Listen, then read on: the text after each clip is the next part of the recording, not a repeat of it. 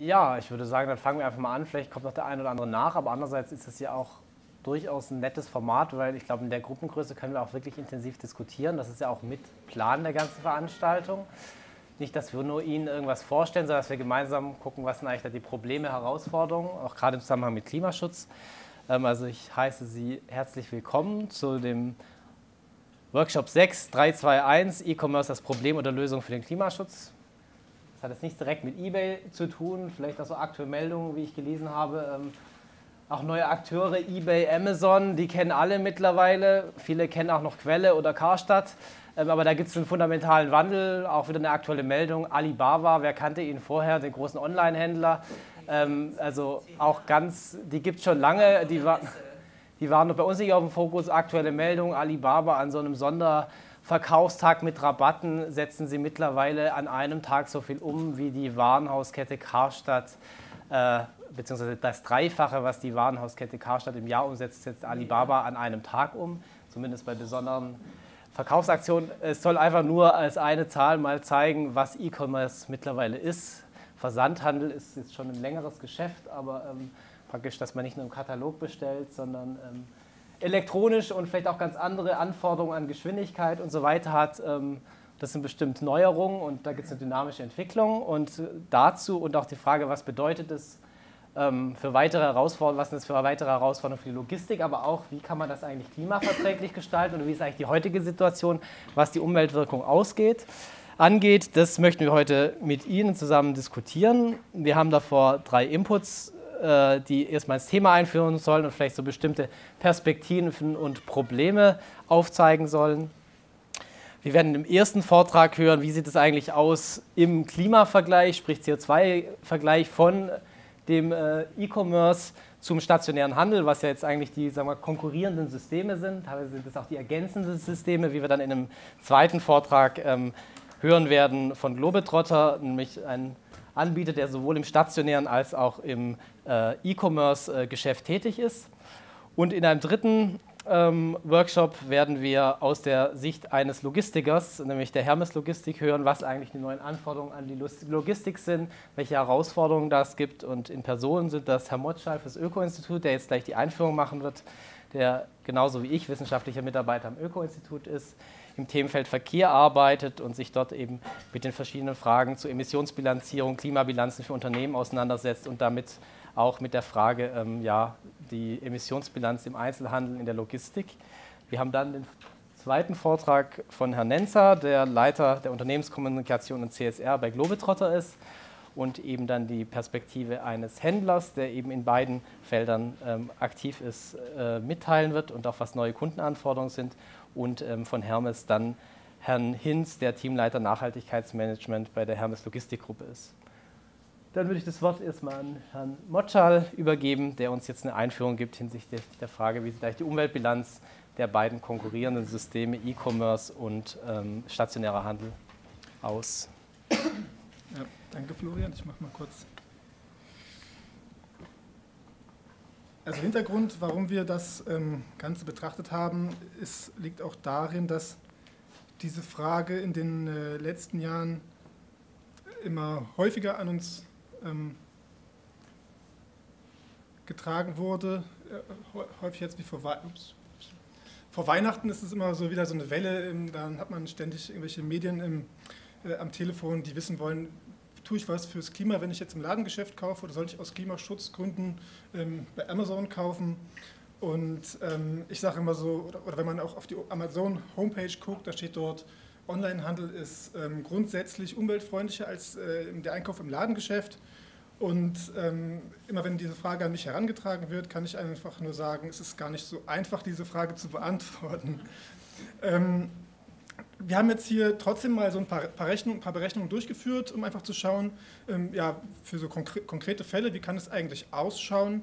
Und ähm, der erste Schritt ist eigentlich, dass man mal guckt, wo sind eigentlich die, ähm, ja, die Einflussfaktoren auf CO2-Emissionen von so einem Einkauf. Also sowohl im Ladengeschäft als auch ähm, online ähm, gibt es da verschiedene Einflussfaktoren und ähm, das ist deswegen wichtig, auch wenn wir nachher über Maßnahmen oder Optionen zur Minderung der CO2-Emissionen sprechen, sind das quasi die Anknüpfpunkte. Also an diesen äh, Einflussfaktoren kann man dann ansetzen. Also für die Logistik ist es sicherlich einmal die ähm, Transportentfernung, also Beispielsweise, wo, ähm, äh, wo liegen meine Umstellzentren, also wie ist meine Kundenstruktur aufgebaut, äh, letztlich wie ist die Auslastung der Fahrzeuge, also wie viele Kilometer fahre ich vielleicht pro ausgelieferte Sendung? Und auch ähm, was für Fahrzeuge setze ich eigentlich ein, wie effizient sind die, ähm, was für Antriebskonzepte stehen dahinter, sind es konventionelle Dieselfahrzeuge oder vielleicht batterieelektrische Fahrzeuge, Erdgasfahrzeuge, wo die CO2-Emissionen dann nochmal anders ausschauen können.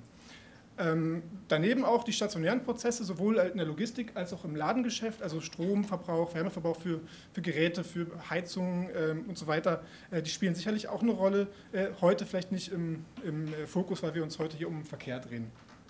Der Händler hat auch eine, eigentlich ein, äh, Einflussfaktoren im Bereich des Händlers, kann man sagen, sind einmal die ähm, Kundeninformationen, also wie gut werden eigentlich Kunden informiert über die Konsequenzen ihres Handelns ähm, oder äh, welche ähm, Versandoptionen werden überhaupt angeboten? Also ist es der, die Standardsendung oder ist es vielleicht eine Expresssendung, wo die Fahrzeuge in der Zustellung vielleicht weniger gut ausgelastet sind und damit ein Mehr an CO2-Emissionen damit verbunden sind? Ähm, letztlich auch ähm, ein Punkt, die Verpackung, also wie viel Luft verschicke ich mit, ist eine, ist, kann einen Einfluss haben auf die Treibhausgasemissionen. Also man kennt es den großen Otto-Katalog, so das ist natürlich auch noch Werbung, wenn ich ihn hochgetragen bekommen habe früher. Also, ähm, die Nachbarn schauen. Genau, da ist auch die Frage, wird meine Sendung gebündelt verschickt, also vielleicht mehrere Produkte in einem Paket oder kommt man, vielleicht auch zwei Pakete nach Hause geliefert. Dann hat man noch einen mehr an Emissionen vielleicht.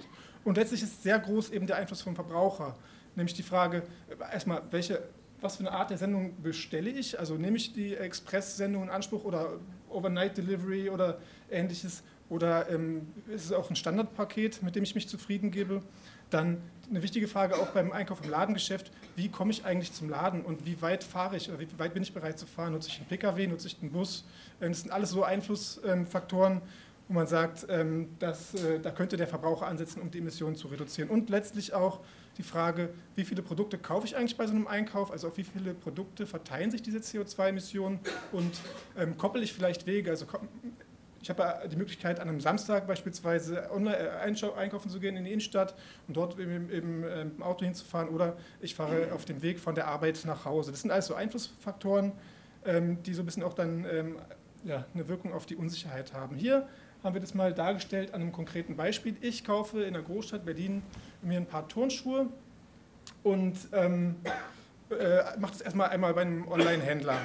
Und da haben wir eben ja, sagen wir, transportbedingte Emissionen für den Vorlauf, Hauptlauf, also äh, quasi Lkw-Transporte, ähm, die lange Strecke ist der Hauptlauf, dann ähm, die Lieferung zur Zustellzentrum, dann die ähm, stationären Prozesse auch, also für Umschlag, da ist auch wieder Wärme und Strom, äh, was eine Rolle spielt. Und letztendlich auch ähm, die, ähm, die letzte Meile, also das, was wir alles kennen, die äh, DHL-Fahrzeuge, die Hermes-Fahrzeuge in der Stadt, die in der zweiten Stuhl manchmal auch stehen. Das ist, ist mit diesem blauen Balken dort gemeint und ähm, dann der Verkauf. Das heißt, an der Stelle haben wir einfach mal geschaut, was ist so an CO2-Emissionen mit, mit, der Zeit der, vom Rechner verbunden, mit den Servern und so weiter. Und insgesamt kommen wir auf 450 Gramm auf so eine Sendung.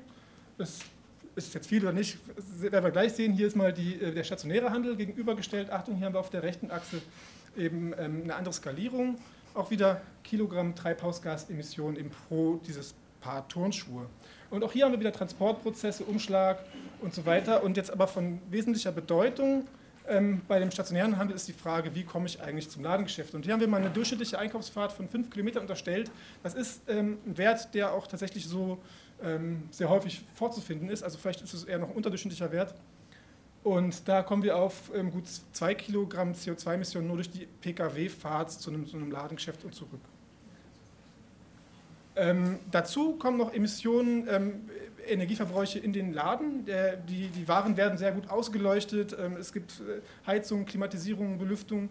Ähm, da kommen auch mal erhebliche Stromverbräuche und Wärmeverbräuche zustande, ähm, die nochmal insgesamt mit rund einem Kilo zu Buche schlagen. Das heißt, wir kommen hier bei diesem sehr einfachen Vergleich ähm, auf dem, ja, was sind das die, die, die, die, sechsfachen Emissionen ungefähr.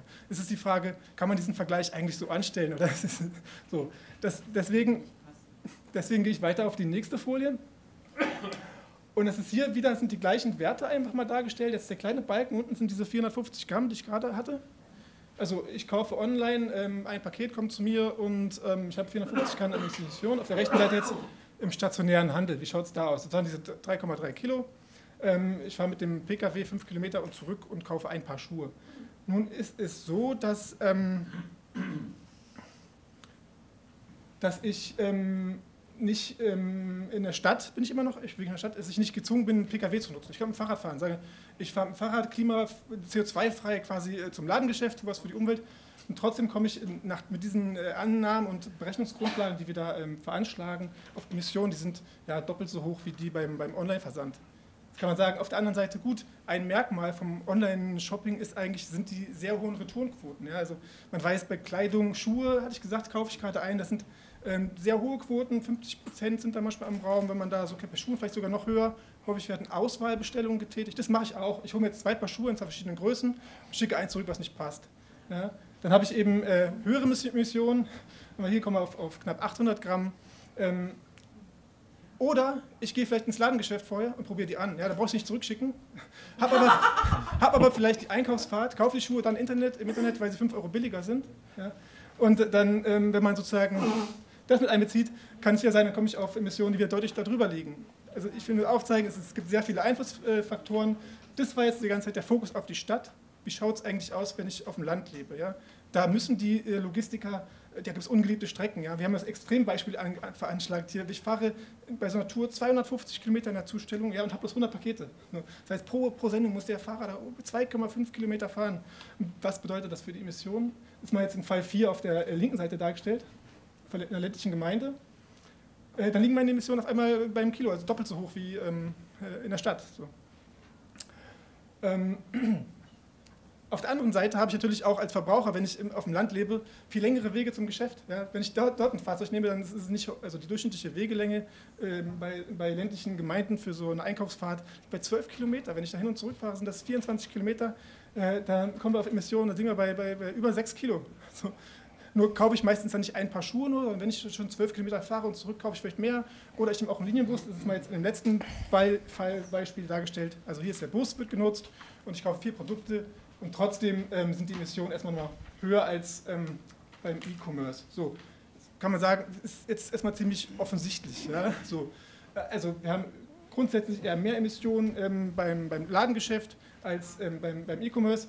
Nun ähm, wenn man sich mit einem Mobilitätsforscher unterhält, ja, dann fällt dann ganz schnell der Begriff konstantes Mobilitätszeitbudget. Ja. Also sozusagen, wenn ich durch E-Commerce Zeit einspare, beim, durch, durch Online-Shopping, ja, dann ähm, ist es nicht unwahrscheinlich, dass ich diese Zeit für andere Verkehre wieder in Anspruch nehme. Ja. Und das habe ich mal jetzt im letzten Fall einfach mal dargestellt. Äh, was ist eigentlich, wenn ich mit dieser, in dieser Stunde, die ich jetzt gespart habe durch E-Commerce, da muss ich nicht fahren, da besuche ich meine Oma oder, oder gebe einem Freund einen Kaffee trinken in der Stadt. Was haben wir hier? Ja. Das sieht einfach, ich will einfach nur zeigen, es gibt sehr viele Einflussfaktoren. Es ist also eine ganz pauschale Aussage zu treffen, ist schwierig. Und ist auch schon sozusagen mein Fazit. Also die Unsicherheiten sind sehr groß. Ähm, vielleicht ist es auch gar nicht so sinnvoll, so einen Vergleich zu machen, sondern eher zu gucken, wie können wir beide äh, Formen des, des Handels sozusagen verbessern. So. Und das ist vielleicht dann auch für die Diskussion nachher.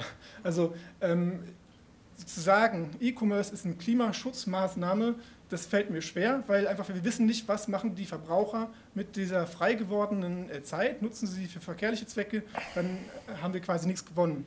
Auf der anderen Seite kann man sagen, ähm, Unsicherheiten sind in sich der Warenschau zu sehen, also der Wegeketten oder Beratungsdiebstahl, wie man auch manchmal nennt.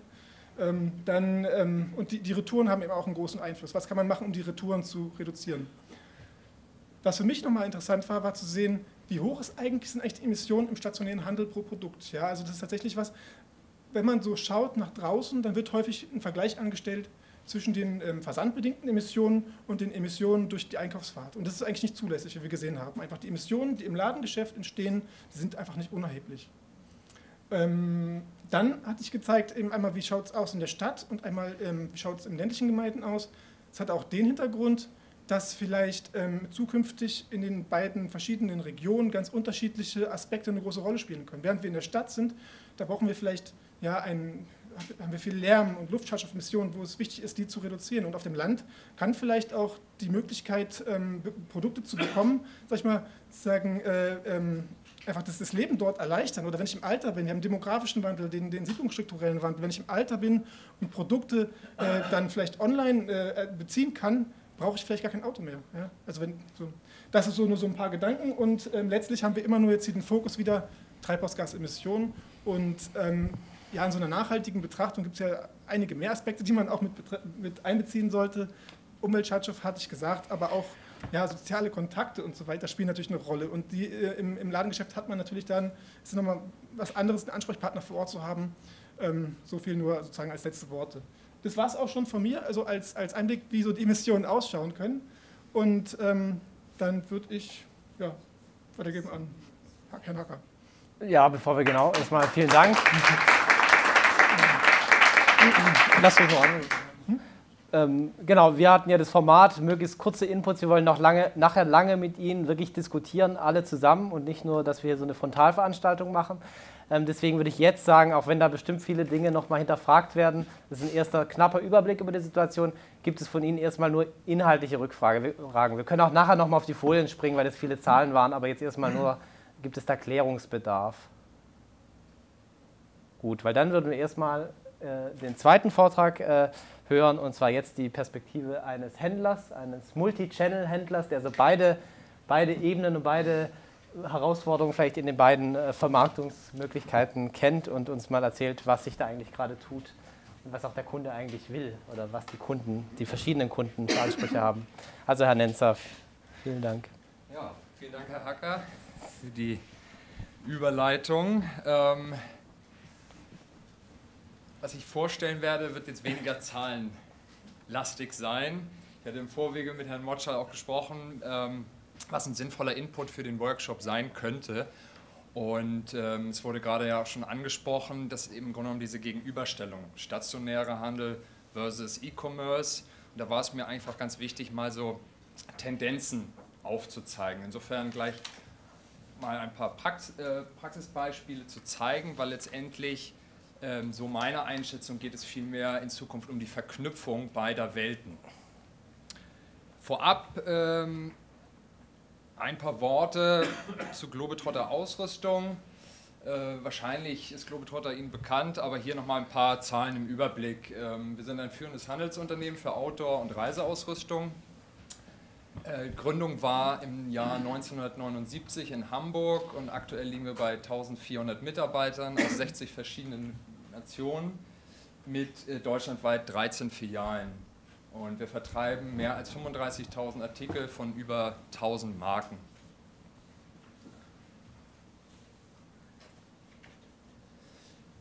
Hier mal beschrieben unser Ansatz zum Klimaschutz. Wir haben im Jahr 2012 mit dem Öko-Institut eine Klimabilanz erstellt nach dem Greenhouse Gas Protokoll und den entsprechenden ISO-Normen, die, die da existieren, haben uns alle drei Scopes angeguckt, das heißt nicht nur die direkten Emissionen, sondern auch äh, alle indirekten Emissionen und haben aufbauend auf diese Analyse unsere Klimastrategie da mal formuliert und diese lässt sich letztendlich in diese vier Teilbereiche ähm, untergliedern. Eben an erster Stelle eben immer das Vermeiden und Reduzieren von Treibhausgasemissionen, dann die Kompensation und ein ganz wichtiger Aspekt natürlich auch das Engagieren haben wir es jetzt mal genannt, also die Sensibilisierung von Kunden, aber auch ähm, eben der Gesellschaft allgemein. Hier habe ich jetzt mal so ausgewählte Maßnahmen äh, dargestellt. Ich würde da jetzt nicht äh, spezifisch drauf eingehen, weil sonst äh, sprengt das ein bisschen den Rahmen, dann sind wir irgendwie bei einer halben Stunde. Äh, aber wenn da noch Rückfragen sind, ähm, dann kann ich da gerne auch im Nachgang noch drüber erzählen. Das sind erstmal die grundsätzlichen Vertriebswege, die wir haben. Wir haben den Stationärhandel mit 13 Filialen, wie angesprochen, und die Belieferung durch die Zentrale in Hamburg. Dort gehen ca. 20.000 Artikel pro Tag an die Filialen. Ähm, wir haben da drei LKWs im äh, Einsatz, der Euroklasse 4 bis 6. Und täglich gehen äh, drei LKW Rundläufe. Und ähm, im besten Fall haben wir da bis zu acht Filialen abgedeckt pro Tag. München, Stuttgart und Frankfurt beliefern wir auch mit der Deutschen Bahn. Das Ziel wäre natürlich, das noch stärker auch auf den auf die Bahn zu bekommen. Das ist aber nicht immer möglich. Manchmal haben wir die, ist die, ist die, sind die Wege einfach nicht äh, vorhanden oder wir haben im Grunde genommen mit den LKWs einen Rundlauf und eine optimale Auslastung, dass es da einfach gar nicht sinnvoll wäre, das jetzt auf die Schiene zu verlegen. Stichwort Retourenquote. In der Filiale haben wir die Möglichkeit zu beraten. Die Kunden können das Produkt anfassen, können es ausprobieren, können sich bei uns in die Kältekammer stellen, in die Windkammer, können es auch direkt ausprobieren. Und da liegen wir, was die Retourenquote geht, im einstelligen Bereich. Ganz im Gegensatz zum Distanzhandel, wo wir im deutlich zweistelligen Bereich liegen. Das unterscheidet sich auch äh, natürlich, in welchem Sortimentsbereich man sich da bewegt, aber gerade auch im Modebereich, Sie kennen alle die Zahlen, liegen die Retourenquote noch deutlich drüber, als äh, wie wir sie bei uns erleben. Ein paar Worte noch zum Distanzhandel. Das unterteilt sich bei uns natürlich um, über den klassischen Online-Shop, aber auch die Mobile-Medien, also sprich über Apps und eben über, über Tablets und das klassische Handbuch. Wir nennen es Handbuch, das ist unser Globetrotter-Katalog, der viermal im Jahr rauskommt. Letztendlich haben Sie die Möglichkeit zu bestellen. Ob, Sie können auch einen Fax schicken, Sie können anrufen, alle Möglichkeiten eben zu bestellen. Versanddienstleister, die wir da im Einsatz haben, ist eben Hermes und auch DHL. Jedes Jahr berechnen wir die CO2-Emissionen. Im vorletzten Jahr lagen wir bei 562 Gramm CO2-Äquivalente. Das heißt, wir haben uns auch nicht nur CO2 angeguckt, sondern eben alle weiteren Treibhausgasemissionen, die da mit reinspielen, pro Paket. Da haben wir eine Reduzierung von minus 7,55 Prozent zum Vorjahr. Das ist auf jeden Fall dem Engagement der Dienstleister geschuldet, ganz klar.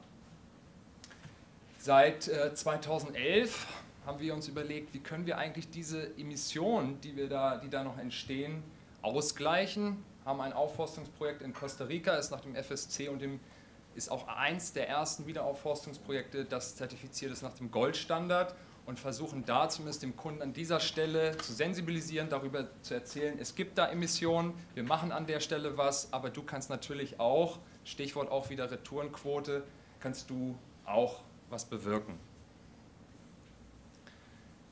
Das sind so aktuelle Entwicklungen, die ich im Bereich Versand und Einzelhandel sehe. Wir haben es zu tun mit immer zunehmenden Kundenansprüchen. Also es wird ja oft die Diskussion geführt, ja, ist jetzt äh, Versandkostenfreiheit oder die punktgenaue Lieferung das Entscheidende? Ich bin der Überzeugung, der Konsument möchte gern alles haben. Am besten schnell und bequem, auf den Punkt, von der Couch aus bestellen, das Ganze versandkostenfrei und am besten natürlich noch umweltschonend und klimaneutral. Ein weiterer Baustein ist ganz klar die Optimierung der Logistikprozente, dass wir einfach zusehen, dass wir in unserem Zentrallager effiziente, effiziente Abwicklung haben und ein Thema für die Zukunft sicherlich auch nochmal der dezentrale Versand über die Filialen, ähm, sprich die Synchronisation von Legern und Beständen, dass es am Ende eigentlich gar keine Rolle mehr spielt, wo liegt das Produkt eigentlich, ob es nun in der Filiale liegt, im Lager, es wird eben, kann von überall letztendlich versendet werden. Der dritte Punkt, Thema Multi-Channel Retail. Wir versuchen natürlich alle, alle Kanäle miteinander zu verbinden und das geht eben genau in die Richtung, nicht äh, stationär versus E-Commerce, sondern es geht letztendlich um die Verknüpfung. Und das sind so die aktuellen Tendenzen. Und da habe ich mal vier Beispiele mitgebracht, die das so ein bisschen äh, zeigen. Hier einmal das Thema Return to Retail. Das heißt ganz simpel, ich bestelle online, bekomme das Produkt, es entspricht nicht meinen Anforderungen und ich gebe es in der Filiale wieder ab. Same-Day-Delivery, das haben wir jetzt aktuell in Hamburg äh, und in Stuttgart im Ein Einsatz, sind da gerade noch so in der ersten Testphase, heißt letztendlich tagesgleiche Lieferung eines Wunschartikels, der in einer Filiale vorhanden ist. Also man stellt sich vor, möchte am nächsten Tag in Urlaub reisen, ist noch mit dem Packen beschäftigt und dann fällt an, ach, das brauche ich jetzt noch. Dort die Möglichkeit, es eben online zu bestellen oder auch ähm, äh, indem man anruft und es wird dann bis 21 Uhr noch ähm, geliefert. Das gleiche gilt, ist natürlich auch möglich, wenn man schon in der Filiale ist. Man ist, hat viel eingekauft und sagt, könnt ihr mir das bitte nach Hause liefern. Also spielt auch da in dieses Thema Same-Day-Delivery Same -Day Delivery rein. Click and Collect ist ein weiterer Service, den wir jetzt auch gerade in äh, unserer neuen Filiale in Stuttgart testen. Heißt letztendlich, Wunschartikel online oder telefonisch bestellen und versandkostenfrei in einer Globetrotter-Filiale entgegennehmen. Sie haben online die Möglichkeit zu sehen, wie sind die Filialbestände und wenn Sie sich für ein bestimmtes Produkt interessieren und sagen, so, wir sind jetzt hier in Berlin mal angenommen, das ist jetzt gar nicht in der Berliner Filiale äh, vorhanden, aber vielleicht in München können Sie per Klick sich dieses Produkt direkt in die Filiale liefern lassen, um es dort sich beraten zu lassen, es dort zu testen und zu entscheiden, ob Sie es mitnehmen oder in der Filiale lassen. Ich hatte es angesprochen, die äh, erhöhte Retourenquote im E-Commerce, im Versand. Da ist natürlich die Überlegung, wie kriegen wir das im Grunde genommen reduziert. Und wir haben im stationären Bereich eine viel geringere Retourenquote. Und das liegt vor allen Dingen an der Beratung und dass man die Sachen anfassen kann. Da ist natürlich seitens des E-Commerce die starke Überlegung, wie kriegen wir im Grunde genommen diese Beratung und diesen Service in die Online-Welt übertragen zum Beispiel hier durch Beratungsvideos, dass eben aktuelle Produkte auch vorgestellt werden, ähm, um einfach sozusagen die, die Unsicherheit in der Auswahl, wir kennen es selber, da werden vier, fünf Produkte bestellt in verschiedenen Größen, naja, und eins wird passen und vier schicke ich zurück. Und das einfach ein bisschen einzudämmen an der Stelle. Äh, ganz klassisch natürlich auch Größentabellen. Die I I Kollegen vom E-Commerce sind da auch an innovativen neuen Ideen schon dran, aber da tut sich in dem Bereich also eine ganze Menge auch. Ich habe hier nochmal ein paar Thesen aufgestellt, auch für die Diskussion dann im Anschluss.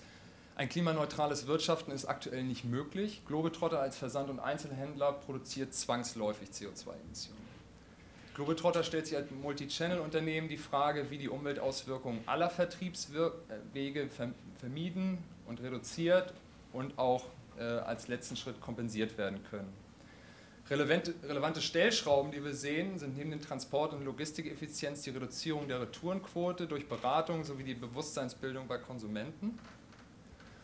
Und unterm Strich, Herr Motschall, Sie hatten das in Ihrer Präsentation eben abschließend auch, es gibt keine einfache Lösung. Es spielen so viele Komponenten mit rein. Es ist eben nicht nur das Thema CO2, Klimaschutz, sondern auch soziale Faktoren, äh, andere Umweltfaktoren, die, man, die da mit reinspielen. Und die müssen sich einzeln angeguckt werden, um letztendlich unterm Strich da ähm, ja, eine ökologisch und wirtschaftlich sinnvolle Lösung, sinnvolle Lösung zu finden. Vielen Dank für Ihre Aufmerksamkeit.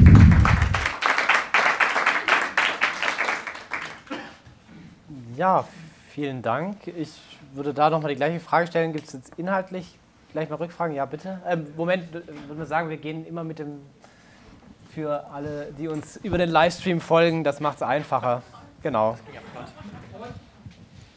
Ja, Jakobs von der Deutschen Lufthansa. Ich habe nur eine kurze Frage ähm, in Richtung Retourenquote. Da gibt es ja jetzt, glaube ich, die Möglichkeit, auch bei den Retouren äh, sozusagen die Versandkosten sich zu erstatten zu lassen äh, von demjenigen, der die zurückschickt. Das ist ja, glaube ich, jetzt gesetzlich oder so reguliert worden oder das nutzt nur bisher keiner. Ich weiß nicht, nutzen Sie das? das oder in der Praxis noch nicht so angekommen. Hat also aktuell noch keine wirklichen Auswirkungen. Nee, aber machen, äh, ähm, fordern Sie da Retourenquote, also bei, der, bei den Retouren Versandkosten ein von dem? Okay. Achso. Wir brauchen das zweite Mikro. Weil das wäre, das wäre ja eine, das wäre ja eigentlich eine Option, äh, die, die Retourenquote deutlich zu senken. Ich glaube, wenn, wenn der Versandkosten äh, Rückerstattung nicht gegeben ist, äh, dann würde man automatisch, glaube ich, weniger zurückschicken. Absolut, also das, das wäre eine, möglich, äh, wäre eine Möglichkeit, aber wir müssen uns natürlich da auch an dem Marktumfeld einfach orientieren. Und ähm, also ich stimme Ihnen da absolut zu. Es gibt viele Möglichkeiten zu reduzieren, zu vermeiden, aber es, es muss natürlich auch wirtschaftlich tragbar sein, das Ganze. Ne? Da gibt es auch dann keine äh, übergreifende Organisation oder Vereinigung von verschiedenen Anbietern, die sowas in Erwägung ziehen. Nicht, dass ich wüsste, nein. Okay, ich würde sagen, dass wir das Bild rund machen, fehlt jetzt noch der Blick des Logistikers, der die Dinge dann zwischen Händler und äh, Kunden ähm, transportiert. Und da wird uns Herr Hinz einen Überblick geben, was sich da gerade tut. Äh, ja. Ja, das mache ich, mach ich gerne, Herr Hacker. Wie funktioniert das hier? Ja, okay. Ähm, ist schon an, Brisanta.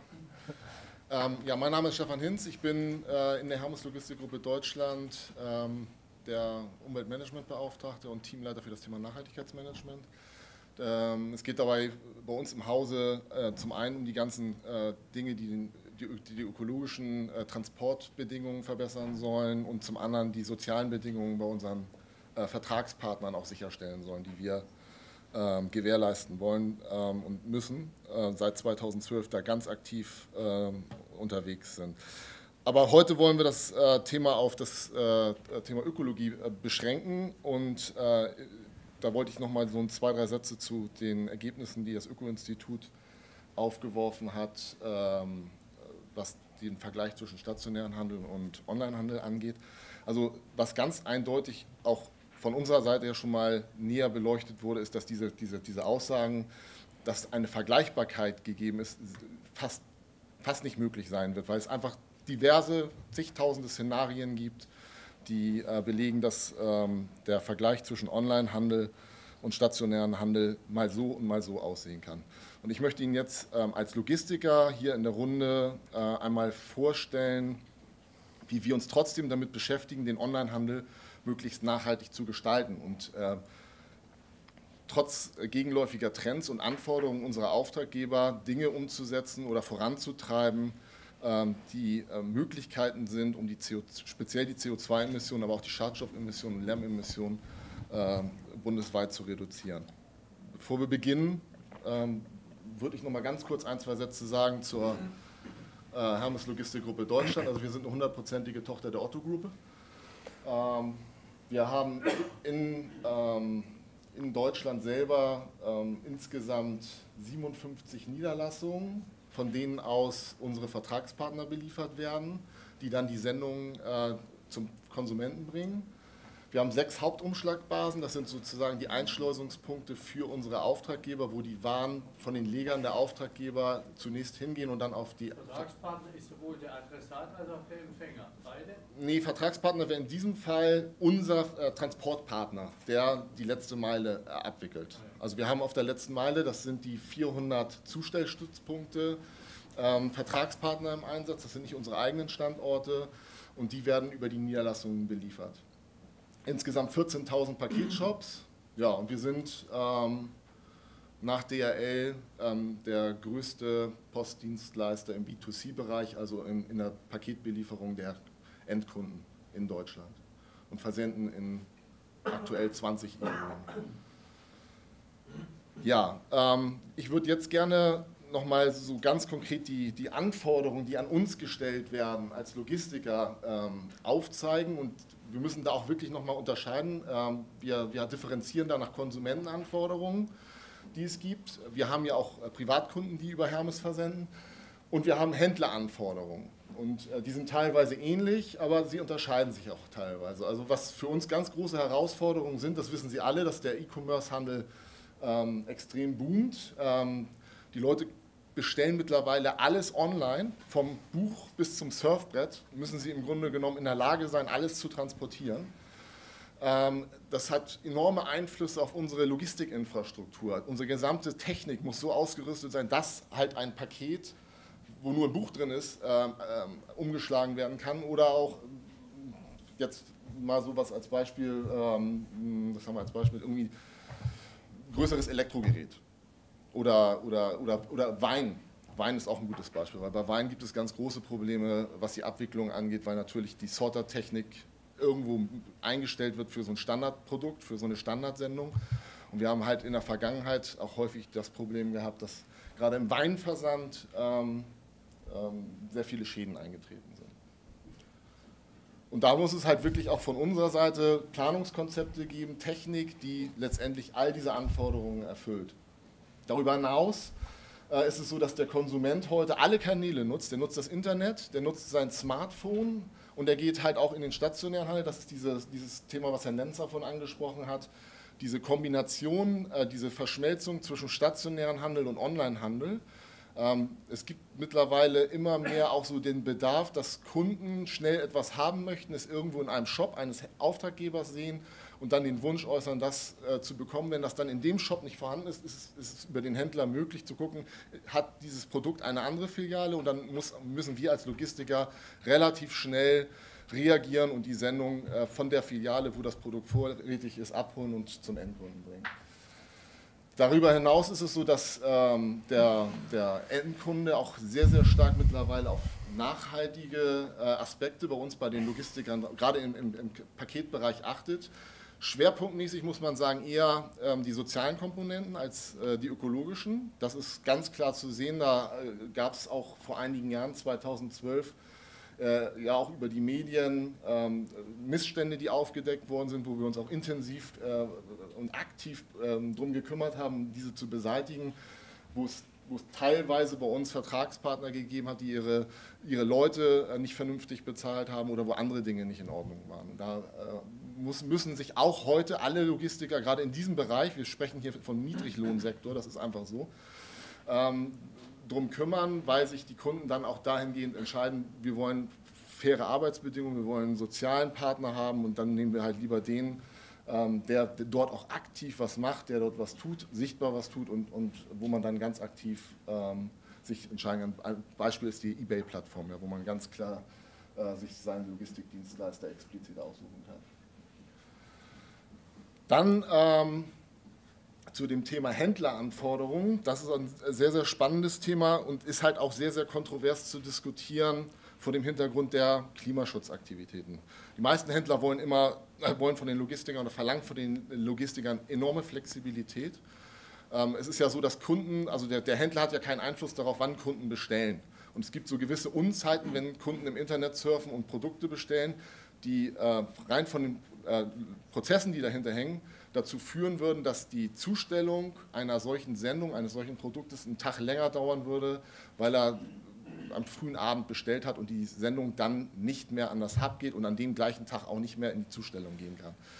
Und da ist es halt so, dass die Anforderungen immer stärker wachsen, dass diese Zeitfenster, die wir dort haben, für unsere Auftraggeber auch heiß begehrt sind und wir uns da im Grunde genommen immer wieder neu ausrichten müssen, schauen müssen, wie wir noch flexibler werden können, wie wir unsere Transportprozesse so gestalten können, ähm, dass wir diese schnellen Reaktionszeiten und Auslieferzeiten realisieren können. Das ist ein ganz ähm, großes Thema.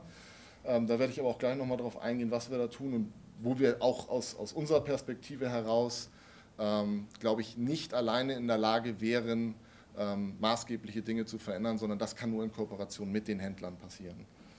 Ähm, ein anderes Thema ist das Thema Zustelloptionen, Zustellzeiten.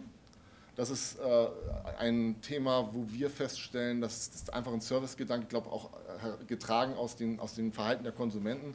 Viele Konsumenten ärgern sich natürlich, der Paketzusteller, der kommt mittags um 14 Uhr, man selber ist nicht zu Hause, ist bei der Arbeit, ähm, Nachbarn sind auch nicht da, Paketzusteller fährt wieder weg, äh, weg, hinterlässt eine Benachrichtigungskarte, kommt am nächsten Tag wieder. Und die Situation ist dieselbe. Ähm, da ist es halt heute so, dass wir ähm, Versandoptionen realisieren müssen, dass wir ähm, alternative Zustellorte den Kunden anbieten müssen, möglichst flexibel, möglichst kurzfristig vor der Zustellung. Und da gibt es ganz, ganz viele Aktivitäten, auf die ich gerne mal näher eingehe. Ähm, der Händler fordert von uns, möglichst umweltschonend, das was Herr Nenzer ja von auch gesagt hat, möglichst umweltschonend abzuwickeln. Also ähm, möglichst moderne Fahrzeuge einzusetzen, äh, wenig CO2-Emissionen, wenig Schadstoffe zu verursachen, ähm, die Prozesse so möglichst effizient zu gestalten. Da haben wir natürlich auch in gewissem Maße ein eigenes Interesse dran, nur gerade im Transportbereich ist es so, da gibt es halt wenig Alternativen. Wir haben im Standortebereich den, an den Umschlagsplätzen heute unter technischen Gesichts- oder technologischen Gesichtspunkten sehr, sehr viele Möglichkeiten, Dinge umzusetzen, alternative Energien wirtschaftlich einzusetzen. Also Stichwort, wir haben ganz, ganz viele Logistikstandorte, die mittlerweile mit Holz beheizt werden und nicht mehr mit, mit Gas oder mit Öl. Ähm, das haben sie im Transportbereich eher weniger. Da, sind, da ist man abhängig von den, von, den, von den OEMs, von den Fahrzeugherstellern. Und ähm, im Nutzfahrzeugbereich passiert aus unserer Sicht, aus Sicht der Paketdienste, noch zu wenig im, äh, in dem Bereich der mittelgroßen LKWs bis 3,5 Tonnen. Es gibt in dem Bereich der kleinen Lieferwagen für Handwerksbetriebe, ich sage jetzt mal den Vito E-Cell, den Renault Kangoo, da gibt es mittlerweile ganz, ganz viele Alternativen, aber ähm, in unserem Segment eher weniger. Ja, wie kann man sich diesem ganzen Thema nähern? Ähm, unter dem Gesichtspunkt, dass man ja auch immer wieder so in den, in den öffentlichen Medien liest, dass der Onlinehandel und die hohen Retourenquoten, äh, das Parken in zweiter Reihe äh, in, den, in den Ballungszentren immer sehr, sehr kritisch gesehen wird, die hohen CO2-Belastungen, die durch den Onlinehandel entstehen. Ähm, da haben wir uns ähm, schon vor vielen, vielen Jahren darüber Gedanken gemacht, wie können wir uns diesem ganzen Thema nähern. Und ein ganz, ganz entscheidender Aspekt, um überhaupt beurteilen zu können, was man machen kann, ist erstmal das zu messen, was man verursacht. Und wir waren einer der ersten Logistikdienstleister, der ähm, die ähm, CO2-Bilanzierung über die eigenen Transporte und über die gesamte Flotte unserer Vertragspartner automatisiert über die Echtdaten. Das ist die, das Privileg der Paketdienste. Die haben, die haben sehr, sehr viele Informationen über die Zustellung, weil jeder Zusteller hat immer einen Scanner dabei und im Rahmen der Scannung werden diverse Informationen ähm, gespeichert und ans Rechenzentrum übertragen. Und mit diesen Daten war es uns möglich, im eine verursachungsgerechte CO2-Emissionsberechnung pro Sendung zu realisieren. Wie Sie hier auf der Folie sehen, haben wir dann natürlich auch mal die Möglichkeit gehabt, das sollte Ihnen dann mal zeigen, inwieweit wir dann tatsächlich auch Effekte gesehen haben. Wir haben halt festgestellt, dass ähm, eine Zustellung an eine Haustür äh, oder eine Zustellung an einen Paketshop von Hermes äh, 30 Prozent effizienter, also 30 Prozent weniger CO2 verursacht als eine Haustürzustellung über, übers Mittel äh, bundesweit.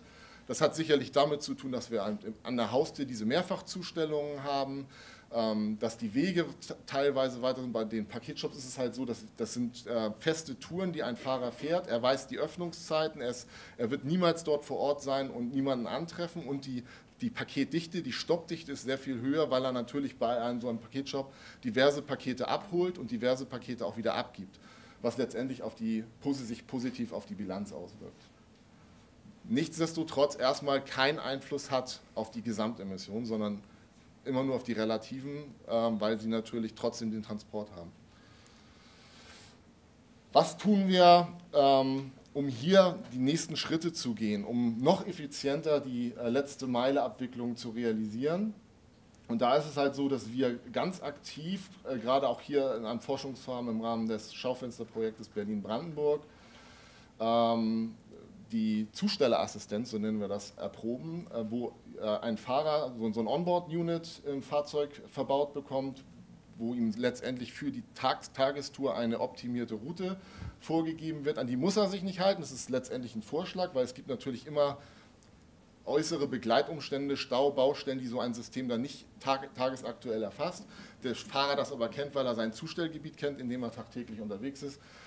Dementsprechend hat er dann immer noch den Freiraum, selbst zu entscheiden, ob er diesen äh, Routenvorschlag übernimmt. Das ist der eine Part. Darüber hinaus, und das ist das Innovative, und da gehen wir stark davon aus, dass das ein Trend ist, der in den nächsten Jahren kommen wird.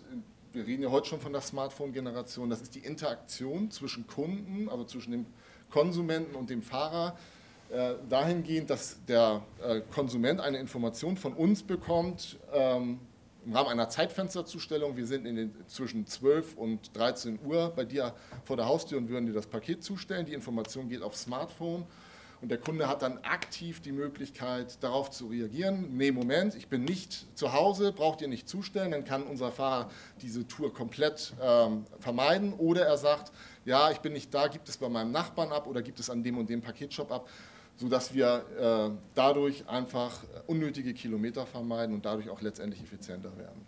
Das ist der Gedanke, der dahinter steht, ähm, was jetzt in Berlin hier im Rahmen eines Piloten erstmalig erprobt wird.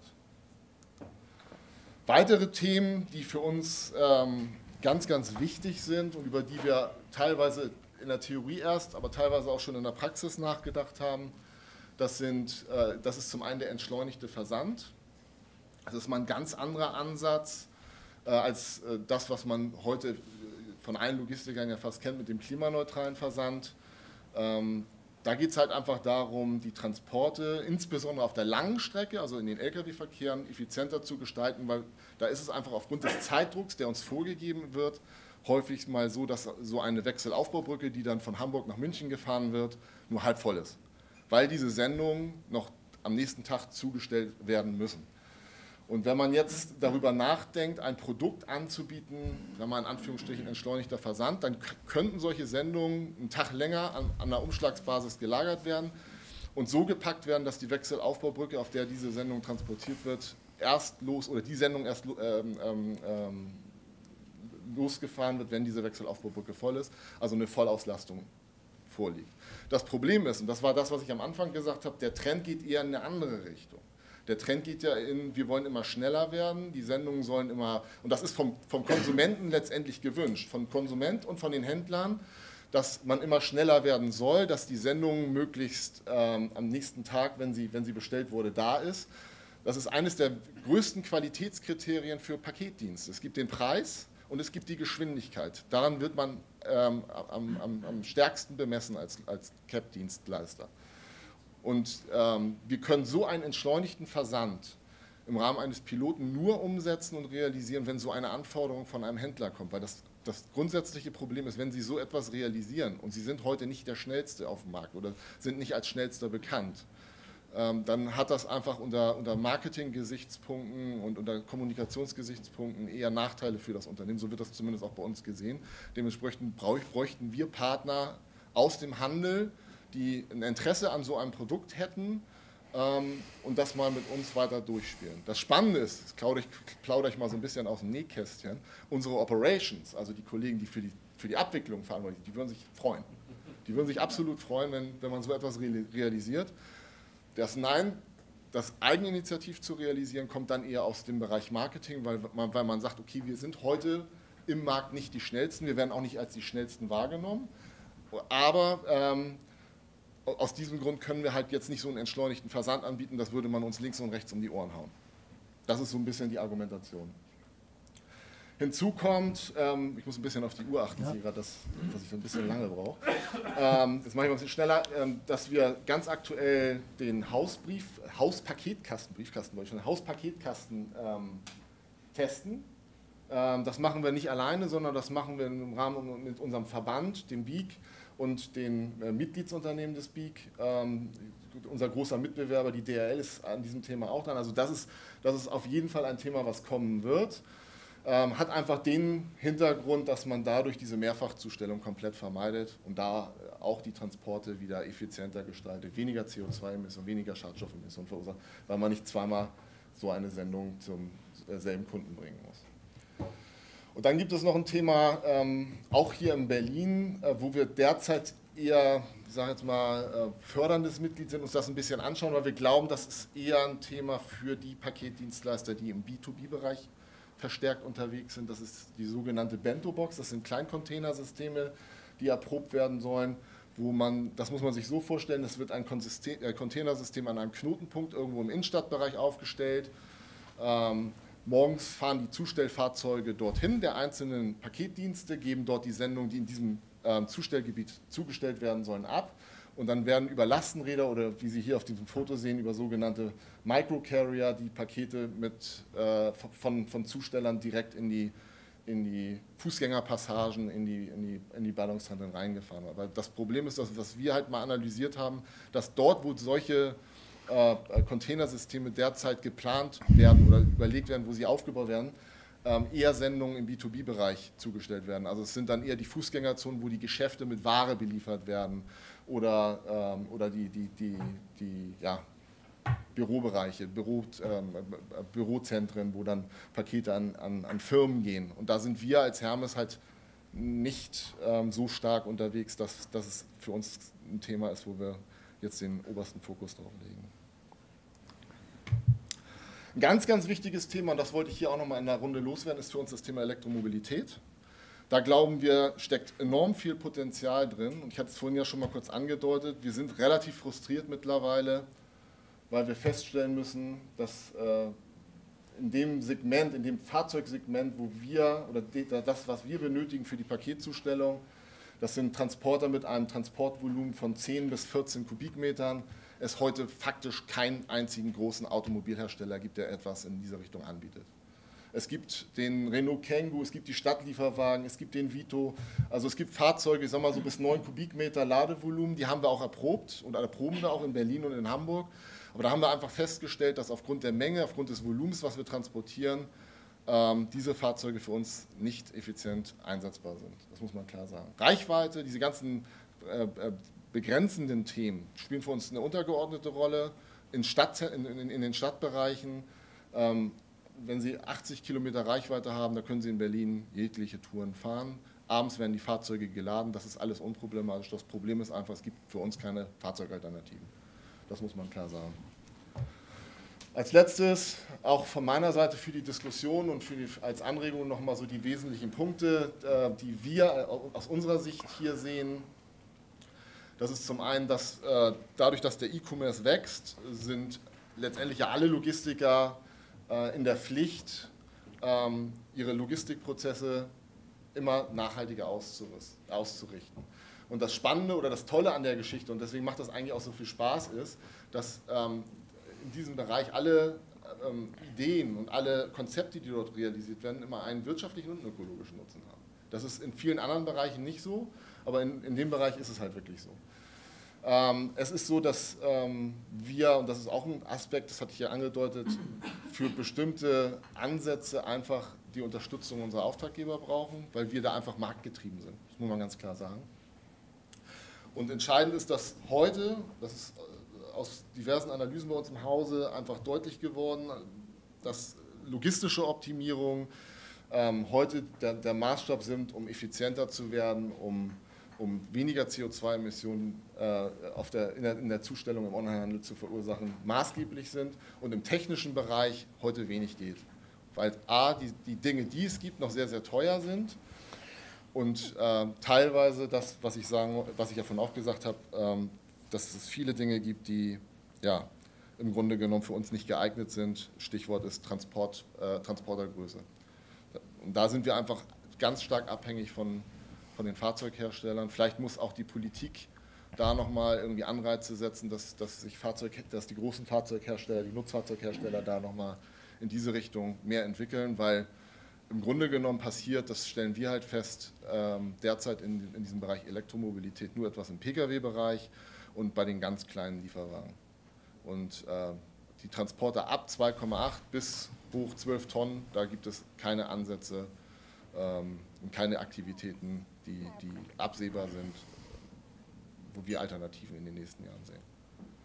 Nichtsdestotrotz glauben wir an die Elektromobilität. Also wir, wir stellen fest, das ist ein absolut ähm, ähm, ist ein absolut wichtiger Part, gerade in der City-Logistik. Sie haben ja nicht nur das Thema CO2 und Schadstoffemissionen, Sie haben ja auch Lärm. Und ähm, für uns ist es halt auch dahingehend wichtig, weil wir glauben, dass, dass äh, verkehrsberuhigte Zonen, Fahrverbote, dass das alles zunehmen wird. Und ähm, wir müssen ja irgendwo die Pakete weiter zustellen und ähm, da braucht man Alternativen. Nur wenn es die Alternativen nicht gibt, dann haben wir keine Möglichkeiten. Vielen Dank.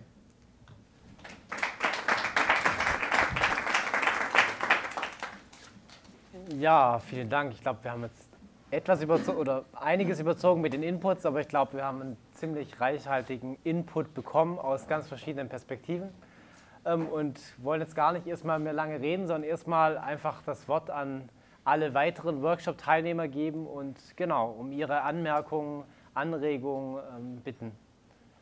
Und ich glaube, wir können hier dieses, dieses Mikro, vielleicht ist eine kleine Gruppe, vielleicht können wir auch einfach flexibel die äh, durch die Reihen reichen und muss gar niemand rumgehen, sondern reichen Sie es einfach an den jeweiligen. Hier gab es eine.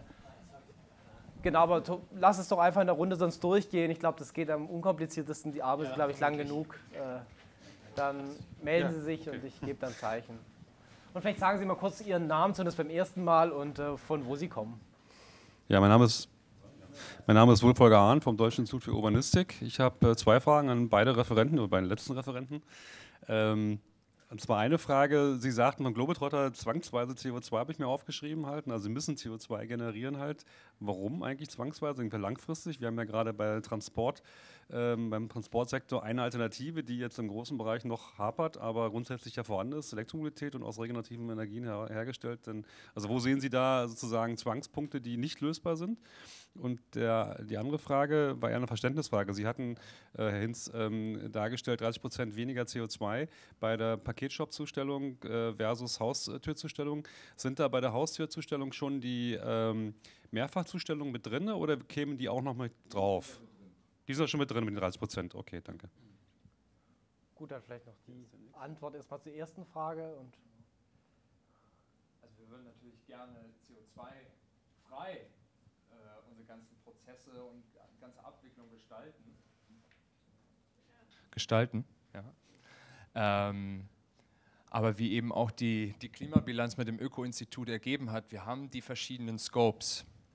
Eins, zwei und drei, also nicht nur die direkten, sondern auch die indirekten Emissionen. Das heißt, wir müssen eben auch in die Vorketten reingucken. Ähm, das heißt, auch bei der Elektromobilität haben wir natürlich zur Erstellung der Transporter und so weiter entstehen in der Vorkette Emissionen. Dasselbe Thema haben Sie bei Photovoltaik. Ja? Das ist im Grunde genommen natürlich bei der Produktion, das ist erstmal schön und gut, aber was ist in der Vorkette? Und insofern, wenn man wirklich äh, da konsequent ist, und das mu muss man bei dem Thema sein, sich die komplette Vorkette eben anguckt, dann kommt man zu der Erkenntnis, dass es dort aktuell ein CO2-freies Wirtschaften so erstmal gar nicht möglich ist. Deswegen die, die Aussage. Dann hier hinten war eine Wortmeldung. Danke. Martin Kames. Martin Kames, Öko-Institut. Äh, ich habe zwei Fragen. Eine an Herrn Nenzer. Ähm, Sie sprachen von den Retourquoten, beziehungsweise hier war dann die Diskussion, dass da ja die neue Gesetzgebung es möglich macht, die gewissermaßen den Kunden wieder in Rechnung zu stellen. Und dann sprachen Sie vom, vom Marktumfeld, nachvollziehbar, klar. Die Frage wäre aber, könnte, Sie hätten ja auch Kosteneinsparungen, oder das sind im Grunde zwei Fragen. Und das heißt, Sie könnten ja letztendlich auch sagen, okay, den Onlinehandel kann ich auch proportional äh, leicht kostengünstig anbieten und auch deutlich machen. Das mache ich dadurch, dass ich eben ähm, die Retouren reduziere äh, und da eben Kosteneinsparungen haben. Das ist eine Frage. Die, die andere Frage wäre, äh, wie viel das denn in Richtung CO2 ausmacht, ähm, wenn tatsächlich die Redu äh, Retouren reduziert werden. Und ähm, die zweite Frage geht an, an, an Moritz. Ähm, du hast dargestellt, dass es sozusagen äh, relativ schwierig ist zu beantworten auf so einer generellen Ebene. Aber ich dachte so, für, für die einzelnen Personen persönlich oder individuell ähm, gibt es ja gewisse Muster. Da ist relativ klar, wo ich einkaufen gehe, die Distanz. Und da kann ich zwei Optionen sehr klar vergleichen. Und vielleicht habe ich auch Einkaufsmuster und kann irgendwie feststellen, ähm, Onlinehandel ist für mich immer günstiger oder in einer anderen Situation für jemand anderes Onlinehandel immer, immer ungünstiger oder je nachdem, welches äh, Mobilitätsverhalten und welches On äh, Kaufverhalten hat. Die Frage ist, gibt es irgendwie ein Tool, wo man sozusagen individuell solche Sachen äh, mal ausrechnen kann für sich persönlich oder ist sowas angedacht? Äh, würde es Sinn machen? In die Richtung. Danke. Möchtest du vielleicht mal gerade anfangen, genau, oder wie auch immer? Auch zur Retour war ja auch was in der Bilanz, in dieser Beispielbilanz war ja auch diese Retouren, vielleicht kannst du dazu auch noch Ja. Ähm, erstmal zu diesem Tool, also es ist eine spannende Idee, kenne ich jetzt nicht, aber vielleicht, wenn jemand anders aus dem Umkreis es kennt. Äh, was es gibt, sind Tools so für die grundsätzliche Berechnung. Also ich habe irgendwie eine Tonne Güter oder 100 Kilogramm Güter, die ich irgendwie ähm, transportieren möchte. Das ist aber jetzt nicht ein Paketversand, sondern es wäre dann eher so eine Spedition oder sowas unterstellt. Das wäre Eco Transit World für die Interessierten. Aber ähm, so für den Paketversand und konkret im Vergleich eben mit dem, ähm, mit dem Einkauf im Ladengeschäft Nee, kenne ich nicht. Äh, die, die Schwierigkeit ist natürlich auch als Verbraucher, ich habe wenig Einfluss auch darauf, oder ich sag mal so, wir haben jetzt Durchschnittswerte unterstellt und natürlich kann der, der das einzelne Ladengeschäft da ähm, stark von abweichen. Oder ich kann auch Ladengeschäfte bevorzugen, wo ich weiß, die haben vielleicht irgendwie ähm, zertifizierten Grünstromprodukt ähm, oder die ähm, äh, haben Blockheizkraftwert mit, mit, mit, mit Holzhackschnitzeln oder so. Also sozusagen, ja, aber wie gesagt, wir haben immer diese, ähm, diese, diese ähm, Durchschnittsvergleiche normalerweise angestellt und eigentlich festgestellt, es ist noch, noch weniger passend, weil wir so einen Durchschnittsmodus-Split, äh, wenn wir ansetzen, das passt dann noch weniger. Deswegen heute eher so die konkreten Vergleiche, aber so ein Tool ist mir nicht bekannt. Wegen der Retouren, was es in, in Summe macht, weiß ich gar nicht. Aber äh, so in Deutschland habe ich gehört, die Retourenquoten liegen bei 290 Millionen Sendungen. Also ähm, das, ähm, ja. Wenn man das mit diesen 0,5 multipliziert, dann kommt man irgendwie auf 100, 145.000 äh, Tonnen. Ja. Aber vielleicht können genau die Kollegen dazu noch ergänzen dem Thema Retouren. Also wollen wir erstmal eine Frage noch, dann mache ich das danach. Nochmal auf den, dem Thema ähm, der ähm, Weitergabe letztendlich der, ähm, der Kosten für den Versand eingehen. Man muss ganz klar sagen, gerade im Online-Bereich haben wir ja einen enormen Preisdruck, einen enormen Preiskampf. Und ähm, dort müssen wir uns, also ich, die Frage hatte ich eingangs eigentlich schon beantwortet, wir müssen uns da ganz klar am Wettbewerb orientieren. Und wenn es dort Möglichkeiten gibt, äh, Dinge einzuführen, damit die Retourenquote sinkt, und das versuchen wir ja durch, den, durch die Übertragung auch der Beratung in den Online-Bereich, dann versuchen wir an der Stelle unsere Möglichkeiten zu nutzen. Nur am Ende des Tages ist uns nicht geholfen, dort etwas zu setzen. Die Retourenquoten gehen runter und womöglich schicken wir aber weniger P Pakete raus. Also da ist einfach diese ja, klassische Verbindung aus allen Aspekten der Nachhaltigkeit gefragt und da sp spielt eben auch die wirtschaftliche Komponente dann eine Rolle. Ähm, zur anderen Frage, zur, wie viel das letztendlich ausmachen würde, da müssen wir mal äh, Berechnungen anstellen. Äh, wir sind, gehen demnächst ja auch in die nächste Runde, die äh, versandbezogenen CO2-Emissionen wieder zu berechnen. Aber das ist im Grunde genommen auf jeden Fall eine, etwas, was wir auf der Agenda haben und noch eine, noch eine Hausaufgabe, dass wir eben auch da nochmal ähm, in die Details gehen und Berechnungen machen. Äh, aber es ist eben auch äh, kein Einzeiler. Wie ich wollte noch mal was sagen zu den Retouren im Allgemeinen und äh, den, den, Prozessabläufen, den Transportabläufen, weil viele immer glauben, dass äh, die Retouren so enorm viel mehr CO2-Emissionen verursachen. Das ist nämlich nicht so. Sie müssen sich vorstellen, ähm, das ist bei uns und auch bei DRL so. DRL hat 13.000 ähm, Packstationen oder äh, Shops, wo man Sendungen, Pakete abgeben kann. Wir haben 14.000 Paketshops. Und äh, bei uns liegt die, ähm, die Abgabe von Retouren an diesen Paketshops, die Quote liegt bei über 95 Prozent. Das heißt, es ist ganz, ganz selten der Fall, dass jemand zu Hause die Hermes anruft und sagt, holt mal bitte meine Retour ab. Ähm, das gibt es zu 5 Prozent bei allen Retouren. Ich habe jetzt die aktuelle Gesamtsumme nicht im Kopf, aber es ist überschaubar. Und bei den ähm, Touren, wo es zu den Paketshops geht, da ist es halt wirklich so, das sind ja feste Touren, was ich vorhin gesagt habe. Da werden ja Pakete, Ausgangssendung, so nennen wir das, abgegeben und es werden Retouren abgeholt. Diese Tour wird jeden Tag gefahren, die ist immer gleich. Der einzige Unterschied ist der Pakettraffic. Der ist nämlich äh, unterschiedlich. Je mehr Retouren ich dann da habe, desto ähm, mehr Sendung hat der Fahrer nachher am Ende, die er mit zur Niederlassung wiederbringt oder zum, um zum, zum Depot. Und ähm, in, in, absoluten Zahlen, glaube ich, ist das überschaubar, wenn man das im Gesamtkontext unserer CO2-Emissionen sieht. Ich glaube, ein viel, viel größeres Problem, und das, äh, das zeigen auch unsere, unsere Analysen, das sind die Mehrfachzustellungen dieses, dieses Problem, dass man tagsüber keine Leute antrifft, die die Sendungen entgegennehmen. Das ist im städtischen Bereich häufig ja noch so, dass unser Zusteller dann ähm, entsprechend Nachbarn findet, die dann auch manchmal ein bisschen weiter weg wohnen, aber da kriegt man immer noch das Paket irgendwo abgegeben. Aber wenn Sie in ländlichen Regionen unterwegs sind ähm, oder in, in kleineren Dörfern, da fahren Sie viermal hin. Und am vierten Mal, wenn Sie dann keinen haben, dann geht die Sendung zurück. Das ist also ein ganz großes Problem ergänzend zu den Retouren, wir hatten immer nur die, die, die, verkehrsbedingten Emissionen. Retouren haben ja noch ganz andere Umweltauswirkungen, die jetzt nicht in der, auch in der Betrachtung vorhin mit enthalten waren. Aber häufig sind Produkte, die retourniert werden, auch gar nicht äh, wiederverkaufsfähig. Also dass der Zustand ist, ist nicht immer äh, so gut, dass man ihn wieder verkaufen kann. Und letztlich ist es, bedeutet es auf der Seite Kosten, aber auch eben äh, ja, Treibhausgasemissionen, die sozusagen in der Produ Produktion entstehen in diesen, in diesen Produkten. Also das ist auch jetzt vorhin unberücksichtigt geblieben. Genau. Dann gehen wir wieder in die Runde. Ja, gut. Mein Name ist Angelika Uricher. Ist an. Okay, ich bin Verkehrsplanerin und ehemalige wissenschaftliche Mitarbeiterin vom Öko-Institut, ist aber schon lange her. Ähm, ich fand jetzt ganz interessant, was Sie angesprochen haben, Herr Hinz, dieses Thema entschleunigte Zustellung. Also ich kann mich nämlich erinnern, ich bestelle auch ab und zu online. Ich habe auch über viele Jahre bei einem Spezial-Online-Händler, der so Kinder- und Jugendprodukte vertreibt, viel äh, bestellt. Und ähm, da kam dann immer am Ende der Bestellung äh, Lieferung in drei bis fünf Werktagen. Es kam in der Regel schneller, also es hat nie fünf Werktage gedauert.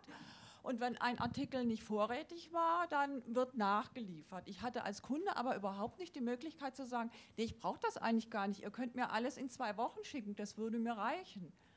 Also wo mir das quasi von, von dem Händler so aufgedrückt wird. Und ich kenne das bei eigentlich bei fast allen Online-Plattformen, wo ich mal so reingucke. Ne? Also wo überhaupt kein Button da ist, wo ich als Kunde sagen kann, ich, ich brauche es eigentlich erst bis dann und dann. Und soweit könnt ihr disponieren, wie es bei euch reinpasst. Das ist auch so. Also diese, diese, diese Anforderung eines entschleunigten Versandes, das war ja das, was ich vorhin angedeutet habe, das muss von den Händlern kommen, es kommt heute aber nicht. Die Händler gucken alle, was macht mit meinem Mitbewerber oh, der ist, der, die, Amazon ist da sozusagen der Maßstab aller Dinge. Die mhm. schaffen es teilweise ja, wenn sie, wenn sie heute bestellen, dann haben sie morgen Mittag haben sie die Sendung. Und an denen orientieren sich alle.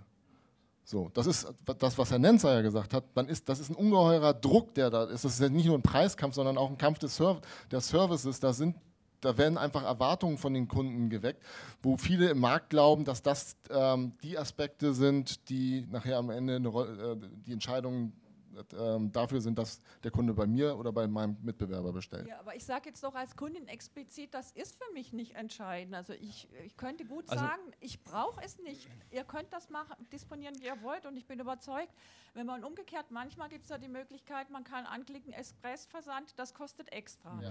Wenn man aber sagen würde, entschleunigter Versand kostet auf der anderen Seite ein paar Cent weniger. Ich bin überzeugt, es gibt eine ganz, äh, ja, schon eine enorme Kundschaft, die das in in Anspruch nehmen würde. Aber da sind wir, mittlerweile, sind wir im Moment machtlos als Kunde. Ne? Ja. Vielleicht ein paar Worte dazu. Also tatsächlich scheiden sich dann noch mal ein bisschen die Geister, ob das wirklich so eine kritische Masse schon ist oder die da erreicht wird, die das, die das, die das fordert. Aber ich bin intern auch auf die Logistiker zugesagt, können wir das nicht anbieten? Und musste, und musste erfahren, dass natürlich systemseitig und logistisch da unheimlich viel hinterhängt und das, da kommen wir wieder zu dem Punkt, wie viele Kunden fragen das wirklich effektiv nach. Und auch für so einen Testlauf muss so viel im Hintergrund aufgebaut werden, ähm, dass das dann schwierig ist abzubilden. Wenn Sie sich vorstellen, Sie sagen, ich habe hier vier Produkte, sehen, das eine ist sofort lieferbar, die anderen erst in zwei, drei, vier Wochen. Schickt mir das doch, wenn das letzte auch da ist und das ist jetzt nur ein Beispiel für die Herausforderung dann in der Logistik, dann hängen diese Produkte im Lager, da kommt neue, neue Ware rein. Also das heißt, der Umschlag an der Stelle läuft nicht so effizient, wie er sein könnte. Und ein anderes Problem ist, es ist auch noch online abgebildet. Das heißt, in der Zwischenzeit könnte es durchaus passieren, dass das verfügbare Produkt in vier Wochen gar nicht mehr da ist und wir ihnen dann Bescheid sagen müssen, vier, vor, Sie haben vier Wochen gewartet, ähm, jetzt haben wir es nicht mehr. Da gibt es sicherlich auch immer wieder Lösungen, wo man sagt, naja, dann nimmst, nimmt's doch, nehmt ihr es doch online raus und so weiter. Aber da kommen wir wieder, und das einfach nur zur Erklärung, da steckt technisch relativ viel hinter. Das ist leider der Fall. Aber ich nerv die Kollegen damit auch. Ja. Gut, Frau Pfeiffer, oder war noch eine Ergänzung dazu? Ja, wo, wobei ähm, ich, wenn ich vom entschleunigten Versand als Logistiker spreche, rede ich nicht von drei bis vier Wochen, sondern wir reden von ein bis zwei Tagen. Wir wollen nämlich einfach nur die Wechselaufbaubrücke, die bei uns an irgendeinem Tor steht und halb voll ist, zwei Tage länger stehen lassen, bis sie voll ist. Und sie dann letztendlich erst auf den Weg schicken. Ähm, das ist sicherlich nochmal ein anderer Aspekt. Ähm, nur ich sage, und das ist halt das, was wir, was unsere Leute aus dem Marketing, aus dem Vertrieb sagen, ähm, der Druck ist derzeit so da gegenüber uns, was die Geschwindigkeit angeht, dass so ein Produkt derzeit ähm, nicht akzeptiert wird. Dem, aus, aus, aus deren Sicht, das ist einfach so. Unsere, unsere Kollegen, äh, in, in, in, also unsere Logistiker an den, an den Hub-Standorten, die wären begeistert, wenn wir es machen würden. Die würden ja auch Kosten sparen, vehement. Weil jeder Lkw-Transport, der halb voll ist, der kostet uns wesentlich mehr, als wenn er vollbeladen nach zu seiner Zieldestination geht. Also wir können auch für der Diskussion, wir wollen ja nachher auch ins Podium, also wenn es auch darum geht, politische Rahmenbedingungen, möchten wir auch Dinge aus dem Workshop mitnehmen. Und ich sehe gerade, das ist schon mal so ein Punkt, wo man denkt, da ist eine Marktdynamik da, wo man sich irgendwann fragt, wer will die eigentlich wirklich? Können wir nachher vielleicht nochmal gucken, ob wir das auf den Punkt bringen, was nehmen wir mit? Ähm, ist da vielleicht auch noch andere Akteure gefragt, wenn man sich fragt, wer will das eigentlich, diese zunehmende Beschleunigung? Nur so auch für Sie, wenn Sie jetzt noch Statements abgeben, Sie können gerne auch schon ein bisschen mitdenken. Wir können nachher was aus dem Workshop mit ins Podium nehmen. Jetzt habe ich hier drei Wortmeldungen der Reihe nach. Ich würde, äh, würde gerne noch mal einmal auf diesen Punkt äh, eingehen. Noch etwas, ganz kurz, ganz kurz etwas, ganz kurz etwas ergänzen. Wir erleben tatsächlich diese Anforderung der schnellen Lieferung. Am besten heute geklickt, heute Abend noch da oder morgen früh gleich da. Und das ist mittlerweile, hat sich auch als Standard einfach so etabliert, dass wenn man dort länger ist, ganz schnell kommt, dann wird storniert und gesagt, nee, das dauert mir zu lange, wenn ihr mir das nicht garantieren könnt. Also ich sage mal, die, die Erwartungshaltung ist da sehr, sehr hoch. Da gibt es immer Ausnahmen, definitiv. Aber es, sind, bleiben Ausnahmen. So, wir haben jetzt noch einige Wortmeldungen. Wir haben auch noch ein bisschen Zeit, aber ich würde sowohl Sie bitten, das relativ kurz zu machen und bei uns müssen wir auch gucken, dass wir kurze Rückmeldungen geben. Ähm, ich hatte jetzt, ich weiß nicht, ob die Reihenfolge stimmt, eins, zwei, drei, ist es richtig oder habe ich Sie vorher übersehen? Und dann, genau. Genau, also ich gehe mal hier weiter und dann, wenn wir sich alle kurz fassen, dann kann auch jeder noch was sagen. genau, bitte. Ja, mein Name ist Pfeiffer vom BDL. Ich äh, frage aber eher aus privatem Interesse. Ähm, und zwar äh, Richtung Einzelhandel, wie die jetzt eigentlich darauf reagieren, weil das ist ja eigentlich eine Bedrohung für den Einzelhandel. Und ich stelle fest, und das ist auch meine Frage, woran kann das liegen, ähm, wenn ich zum Einzelhandel gehe, die haben meine Sachen nicht da, dann sagen sie, oh, können wir bestellen? Und dann kriege ich die Antwort, ist in 10 bis 14 Tagen da. Wo ich dann denke, wie kann das sein? Dass ich beim Einzelhandel, also beim Geschäft um die Ecke, ähm, 14 Tage darauf warten muss und eben online das am nächsten Tag haben kann. Ähm, A, warum ist das so? Vielleicht können Sie das, Herr Nenzer, äh, beantworten. Und äh, B, wie reagiert der Einzelhandel darauf? Okay, genau. Vielleicht kann einer von uns darauf antworten, dass wir. Ja. Also ich kann nur für Globetrotter sprechen, insofern ich weiß nicht, welche, welche Erlebnisse die Sie da gemacht haben, welche Unternehmen das betrifft, aber ähm, also ich sehe ganz klar die Anforderungen genauso, wie Sie das beschrieben haben. Also das bestätigt das ja auch nochmal, dass Sie sagen, Mensch, das ist im Laden nicht verfügbar, bestellt mir das. Warum dauert das jetzt zwei Wochen? Das ist nämlich genau sozusagen diese, diese Anforderung, die da existiert. Und ich bin der ganz festen Überzeugung, dass natürlich der Einzelhandel, der sich im Grunde genommen mit der mit dem äh, E-Commerce nicht ausreichend beschäftigt, dort auch äh, ja, also letztendlich ist das einfach der wachsende Trend in die Richtung. Also man kann aber nicht klar sagen, was die Ursachen sind. Ist es ein grundsätzliches Problem oder sind es Einzelhändler, die irgendwie ihre Logistik nicht im Griff haben? Oder also ist es eine allgemeine Beobachtung oder sind das Einzelfälle? Also das war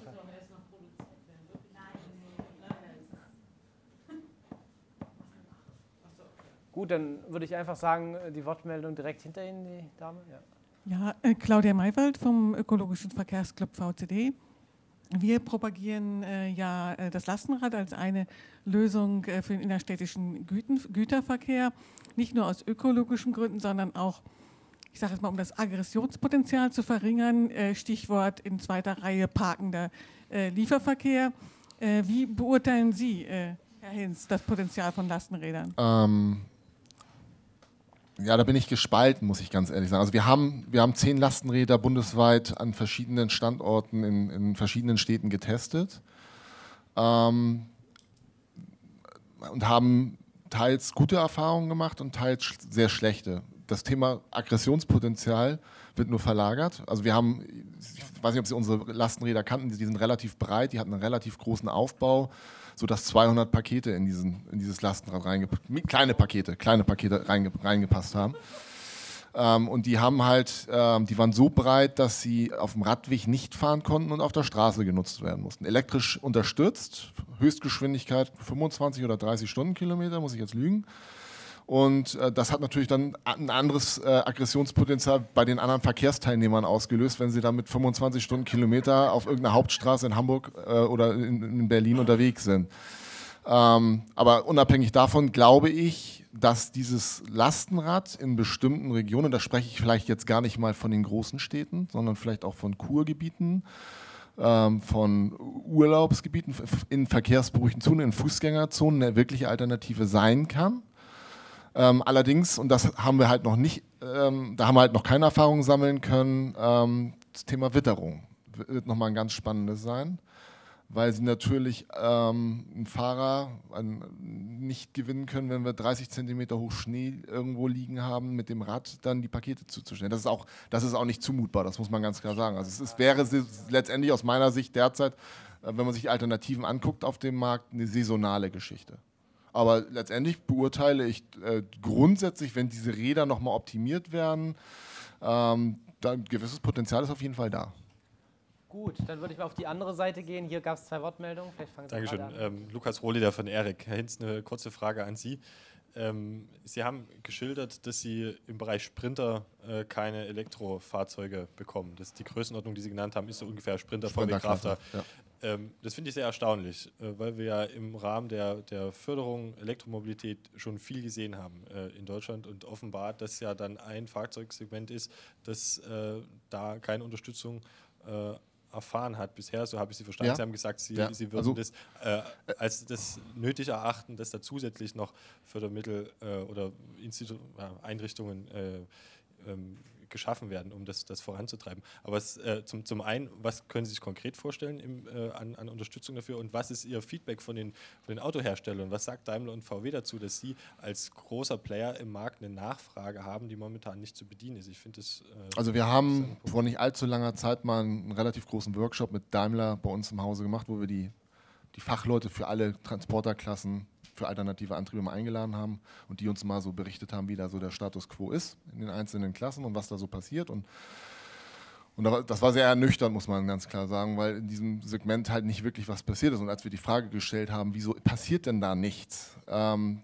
da war immer so ein bisschen, also man hat nicht uns wirklich eine Antwort gegeben. Wir hatten den Eindruck, dass man abwartet, was in dem kleineren Segment passiert und dass da derzeit vielleicht die Erwartungen auch nicht erfüllt werden und man nicht das Risiko eingehen will, noch eine weitere Transporterklasse äh, ähm, aufzubauen und umzurüsten und die dann auch noch in den Markt reinzubringen. Es war unser Eindruck. Wirklich sagen kann ich es nicht, weil sie, uns, weil sie uns das nicht wirklich gesagt haben. Teilweise glaube ich auch, dass die Kollegen, mit denen wir dort zusammen gesessen haben, äh, irgendwo auch immer auf eine Vorstandsentscheidung gewartet haben, die auch nicht gefällt wurde. Also es wurde ja nicht gesagt, der Sprinter kommt nicht oder der Sprinter kommt, sondern man hat diese Entscheidung irgendwie immer verzögert und bis heute ist keine gefallen.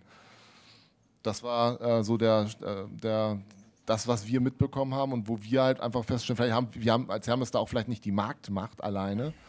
Ähm, ich weiß es bei, den, bei, bei unserem Mitbewerber DRL, die, die, die, haben, die haben wohl ähnliche Probleme gehabt, die haben sich dann irgendwann mit einem anderen äh, äh, Dienstleister zusammengesetzt für Elektrofahrzeuge mit Street Scooter und haben sich ein eigenes Konzept überlegt.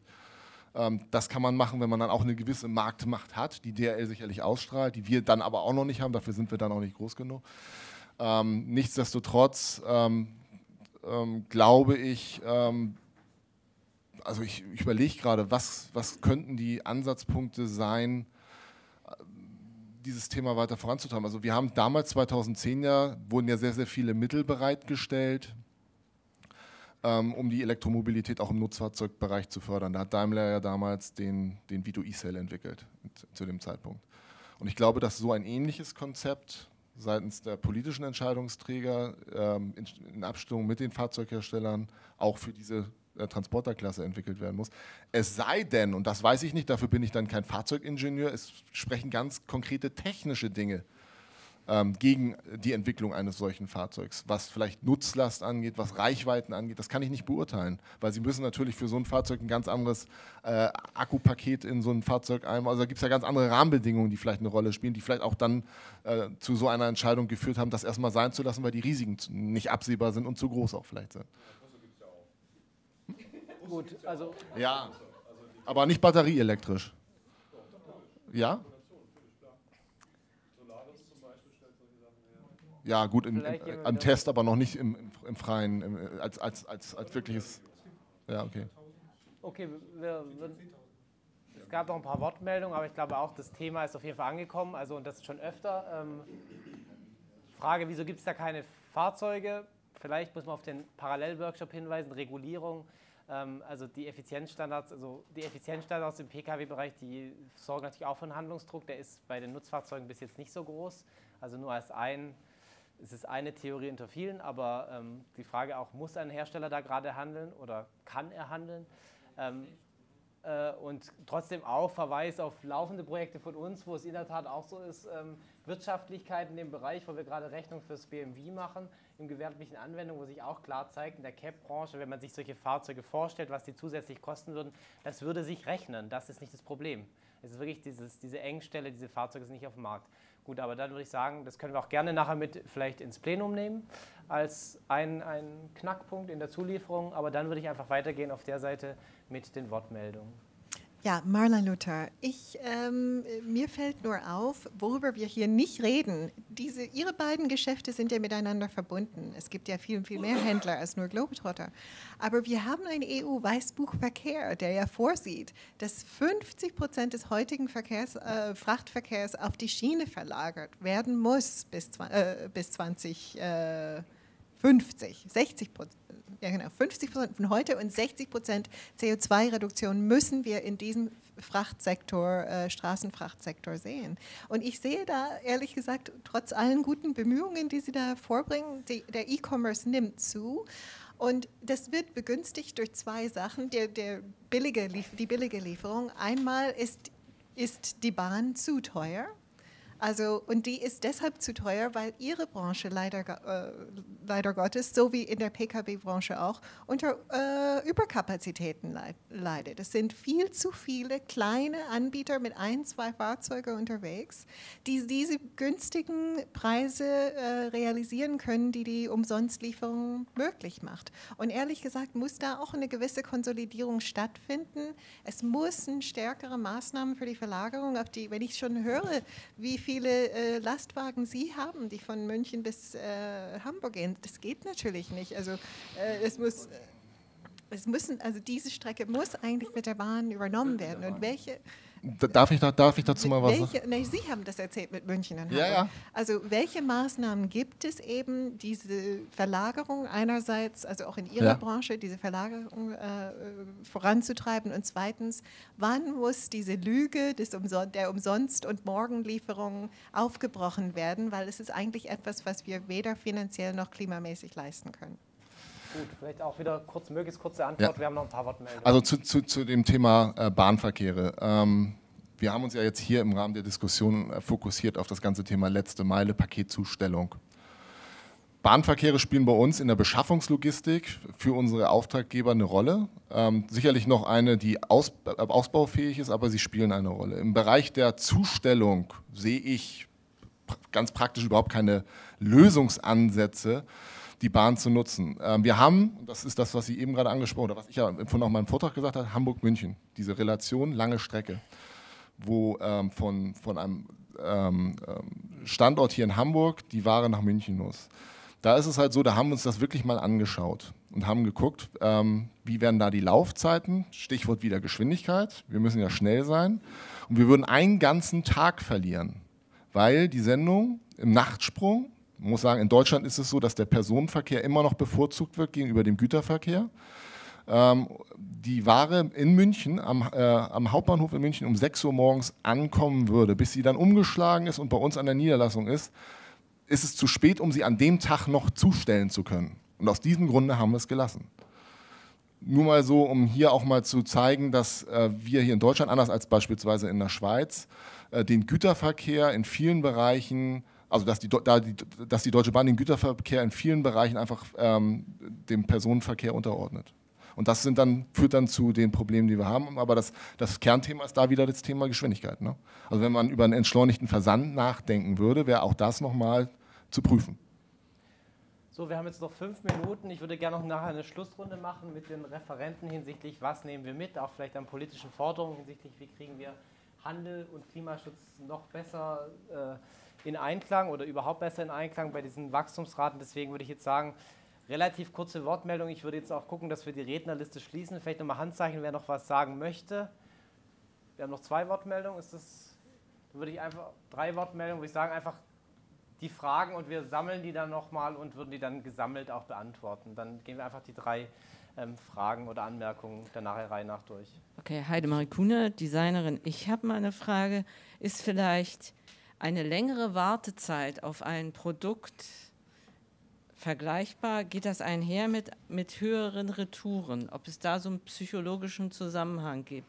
Das heißt, wenn ich mich jetzt entschieden habe zu kaufen, wenn das schnell geliefert wird, dann schicke ich es nicht wieder zurück. Aber wenn ich quasi eine Weile darauf warte und sich vielleicht in meinem Hirn dann einstellt, ey, das brauchst du ja eigentlich gar nicht, dann schicke ich es halt schneller zurück. Und wenn man, wenn es das sein könnte, Weiß ich nicht. Mal nachfragen. Mhm. Nehmen wir gleich. Uli Werner in der Entwicklungszusammenarbeit. Mehr ein Statement für den, für den Workshop und für die Ausrichter Öko-Institut, nicht so sehr an die Kollegen äh, von Logistik und Verkauf, weil es sind Interessensvertreter. Wir müssen aufpassen, dass wir mit hier Ökologisierung und oder sagen, immer bessere Ökologisierung des Verkehrs, des Transportes nicht zum Steigbügelhalter argumentieren oder steigbügelhaft argumentieren für die Entleerung unserer Vorstädte, für die Entleerung unserer kleinen und Mittelstädte. Das nur als Statement. Mhm. Das einfach nicht zu vergessen. Ja. Und dann gab es hier noch eine dritte Wortmeldung. Ich wollte auch noch mal ganz kurz noch zu dieser Dichotomie halt zwischen ähm, Schnelligkeit und äh, Bindungsfähigkeit halt und effizientere Transporte. Ähm, manchmal habe ich so ein bisschen den Eindruck, dass, oder das heißt, ist ja im Prinzip auch der Fakt, der Konkurrenzkampf halt, dass sich die Branche dann ein bisschen aufschaukelt halt auch. Ne? Also was liefern wir besser als andere vielleicht halt? Eine Schnelligkeit ist dann vielleicht eine Sache, die man noch durchsetzen kann halt, andere Sachen beim Preis oder so, gibt es dann vielleicht Grenzen oder sowas halt. Ne? Also da denke ich mal, ist Regulierung tatsächlich vielleicht auch eine Hilfe für die Branche. Es gibt ja durchaus Segmente halt, äh, da geht der Kunde durchaus lange Wartezeiten an. Nehmen Sie mal Möbel beispielsweise halt. Ne? Wie lange warten Sie auf eine Couch? Sechs Wochen oder acht Wochen oder sonst was? Das wird massenweise akzeptiert halt. Ne? Da schreibt uns einfach mal der, das Produktions, die Produktionsmethode der Möbelhersteller vor, dass wir acht Wochen auf eine Couch warten halt. Ne? Und da gibt es überhaupt keine Probleme. Oder zumindest habe ich da noch keine Volksaufstände gehört, weil so lange geliefert wurde halt. Ne? Auch Wein halt, der muss auch nicht am nächsten Tag kommen, wenn er aus Italien kommt oder sonst wo halt. Ne? Also da bin ich nicht ganz so sicher. Und ich denke, ähm, äh, ein Punkt ist vielleicht, ähm, kenne keine Untersuchung, aber ein Punkt ist vielleicht sogar noch wichtiger als Schnelligkeit und zwar die Voraussage des Zeitpunkts der Lieferung, der Lieferzeitfenster halt. Ne, lieber warte ich zwei Tage, weiß aber, das kommt dann irgendwie zwischen 18 und 20 Uhr halt, als dass es irgendwie am nächsten Tag sofort da ist, aber irgendwann am Tag, wo ich nicht da bin halt. Ne? Gut, vielen Dank. Dann würde ich sagen, ähm, das eine war mir ein Statement, aber ich glaube auch, wir haben jetzt hier in der Runde, das kann man nicht planen, wir haben es ja schon erwähnt, aber auch gerade diese sozialen Aspekte von ähm, wenn man soziale Aspekte von Einkaufen oder der, der Aufenthaltsort äh, Stadt auch als Raum der Begegnung, wo halt Einkaufen auch dazukommt, das kam sicherlich hier zu kurz. Und auch äh, grundsätzlich ähm, genau die Frage, was das auch mit dem demografischen Wandel zu tun hat. Ähm, aber jetzt nochmal zu der Frage, er Erfahrung mit Wartezeiten, Retouren, gibt es die, dass man sagt, wer länger wartet, äh, der überlegt sich und schickt es dann doch eher wieder gleich zurück? Oder also, oder gibt es keine Erfahrung oder gibt es irgendwelche Anhaltspunkte in die Richtung? Also mir als äh, Logistiker sind da keine Anhaltspunkte bekannt. Also gut, ich kann es mir vorstellen. Also ich würde mir selber, wenn ich mir nicht sicher bin, kaufe ich es jetzt, ich bestelle es und nach fünf Tagen ne, brauche ich es wirklich. Ich kann es, also es ist denkbar, aber mir ist nichts Offizielles bekannt. Und die Rückgaberechte sind ja die gleiche. Nach Erhalt der Ware kann ich, egal ob ich jetzt... Äh, ja, Sie haben ja die gesetzliche Rückgaberecht, das Rückgaberecht von zwei Wochen, ohne äh, Bekanntgabe von irgendwelchen Gründen. Da mag es eine Korrelation geben, aber wie, wie die aussieht, haben wir noch eine Hausaufgabe, Herr Motschall. Ja, und sonst vielleicht, ich meine, das Thema jetzt, also praktisch, ob sich da eine Branche aufschaukelt, ob da Standards geschaffen werden, die eigentlich, wo man sagt, einer reitet, äh, ist der Vorreiter und dann denken alle, das muss so sein. Ich meine, wir kennen es aus der Automobilbranche, alle sagen, alle wollen mehr Komfort, nächstes Mal muss wieder mehr Leistung drauf oder die SUVs, das ist der Megatrend, wir müssen es anbieten, sonst verlieren wir Marktanteile. Solche Entwicklungen gibt es, man weiß nicht, was ist dran. Äh, ist das ein selbstverstärkender Effekt, dadurch, dass eben die Leute dann auch, äh, die anderen Produzenten mit aufsteigen. Aber vielleicht können Sie das mit auch in das, vielleicht dieses, Ihr Schlussstatement mit einbinden, weil das jetzt doch mehrmals Thema war heute, dass sich da so Eigendynamiken gebildet haben, die eigentlich sowohl Händler als auch vielleicht äh, die Lieferanten äh, gerne durchbrechen wollten. Das heißt, für die Schlussrunde vielleicht nochmal die Frage an den Referenten, wenn wir jetzt nachher auch diskutieren über politische Rahmenbedingungen und die Frage, wie kann man überhaupt den Handel, Einkauf klimafreundlicher gestalten, was wären aus Ihrer Perspektive Punkte, die man da mitgeben sollte? Ich würde mein Schlussstatement gerne mit Ihrem äh, Beitrag noch einmal verbinden. Sie hatten das angesprochen im Möbelbereich, da ist es sechs bis acht Wochen, da beschwert sich keiner, da macht keiner einen Aufstand. Aber da ist es eben auch Standard. Was würde da passieren, wenn jetzt einer sagt, ich kann das aber in drei Wochen? Das, also, das ist, ja, ja genau, ja, so. Und, ähm, und letztendlich da die Überleitung eigentlich äh, zu dem Punkt, der mir da wichtig ist. Wir brauchen im Grunde genommen, und das wurde in dem anderen Workshop auch nochmal angesprochen, letztendlich eine Transformation auch. Also eigentlich ein Umdenken auch. Also warum muss alles immer schnell und morgen und äh, noch besser sein, sondern es gibt ja auch eine, ähm, sag ich mal, in der Entschleunigung äh, gibt, es, gibt, es, äh, gibt es eben Vorteile. Aber das muss im Grunde genommen dann auch im Bewusstsein und in der Gesellschaft erstmal so ankommen. Und ich glaube, wir sind da, äh, da gibt es eine Bewegung in diese Richtung, aber wir sind da sicherlich noch in den Anfängen. Gut, dann Genau, vielleicht auch die Bitte nochmal um ein kurzes Statement. Ja. Der Zeit. Wir sind schon ein bisschen drüber, aber auf jeden Fall. Also im Grunde genommen zwei Dinge. Ich beziehe mich jetzt auch nochmal auf das Thema Elektromobilität. Zum einen ähm, würde ich mir wünschen, dass das, ähm, wenn, man, wenn man jetzt mal so drei Wünsche frei hat oder zwei, reichen mir dann auch, äh, dass, dass, dass, dass, dass die Automobilhersteller ähm, sich verstärkt nochmal in diesem Segment, weil ich glaube auch, das ist ein relativ großes, großes Segment. Also wenn ich mir anschaue, dass wir mittlerweile, ähm, wie viel oder wie viele äh, große Logistikunternehmen mittlerweile auf dem, auf dem deutschen Markt unterwegs sind. Ich glaube, da ist wirklich Potenzial, dass die Logistik, also dass die Hersteller im Grunde genommen sich wirklich mal ernsthaft Gedanken darüber machen, äh, nicht, äh, nicht doch ein Elektrofahrzeug in diesem Bereich Sprinterklasse zu entwickeln. Das ist das eine. Und das andere, was ich mir wünschen würde als Anreiz, analog der Einspeisevergütung für erneuerbare Energien würde ich mir monetäre Förderprogramme äh, wünschen, die äh, es uns leichter machen, diese Technologie dann auch marktfähig äh, in unseren Prozessen zu integrieren. Weil das, was jetzt aus meiner Sicht verabschiedet wurde, ähm, was die Bevorzugung von Elektrofahrzeugen im innerstädtischen Verkehr angeht, das wird nicht der Punkt sein, äh, der dazu führt, dass Elektromobilität den großen Sprung nach vorne macht. So ein ganz äh, knappes Statement. Also ich fand, wird heute mitnehmen auch so, für mich war sehr interessant, einfach diese, diese Aspekte ähm, Verbrauchverhalten, die Relevanz, Warten für das Klima, wie dort die Anforderungen eben von Kunden und auch Händler oder wie voneinander abweichen und wie wir in Zukunft eben dazu kommen können, die einander anzugleichen, was heute nicht so nicht im Fokus stand von der Diskussion, was ich aber auch für wichtig erachte und vielleicht noch jetzt die äh, Möglichkeit nutzen möchte, das anzubringen, ist die Frage, wenn alles immer einfacher wird und immer schneller zu bekommen ähm, beim Online-Shopping, ist die Frage, bestelle ich dann eigentlich auch mehr? Also habe ich mehr an Konsum, den ich vielleicht sonst nicht hätte, sozusagen, wo auch wieder sagen so, so Rebound-Effekte so auftreten. Das müsste man vielleicht zukünftig auch nochmal ein bisschen genauer untersuchen. Ja, damit würden wir den Workshop schließen. Vielen Dank für die Beteiligung, auch für die rege Diskussion. Äh, ich glaube, ich und hoffentlich auch Sie haben viel gelernt aus den verschiedenen Perspektiven. Ich wünsche Ihnen jetzt eine stärkende Mittags- oder Kaffeepause vielmehr. Ja. Ähm, und dann geht es weiter um 16 äh, Uhr, 15.30 Uhr mit der Zusammenfassung aus den Workshops und dann 16 Uhr die Podiumsdiskussion. Das alles findet dann wieder ähm, im großen Saal statt. Vielen Dank. Soweit.